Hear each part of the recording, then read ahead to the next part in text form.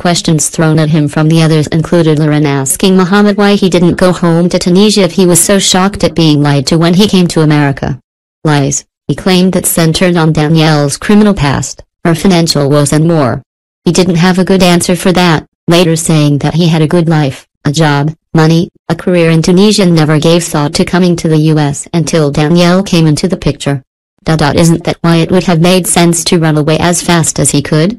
For her part, Danielle only cried once, at the end of the hour-long part one, and when she was challenged by Melanie, as to why she didn't lock Mohamed out, after the first trip he took away from Ohio to meet up with women from social media, she had an interesting answer.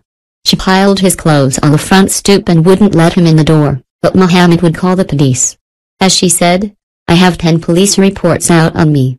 That put an end to that question for the rest of the evening? When the conversation turned to Pau and Russ, surprisingly, the consensus of the group was that the topless, but covered photos of her in Miami are no big deal, since they were taken for her modeling portfolio and essentially, part of a job. You know who was the biggest feminist in the group? Kyle. That's who. But when the question was asked about whether or not Pau should change her name for her career, back to her Colombian last name, it split the group with more of the men rather than the women taking sides with Russ about that. We learn that Russ and Pau are living separately, although he didn't say he was employed in Oklahoma. The marriage seems to be drifting.